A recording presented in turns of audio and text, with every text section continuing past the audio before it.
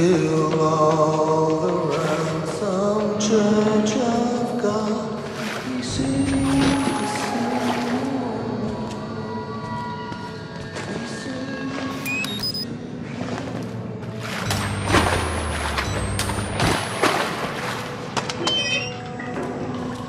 You, you don't have to be scared of me.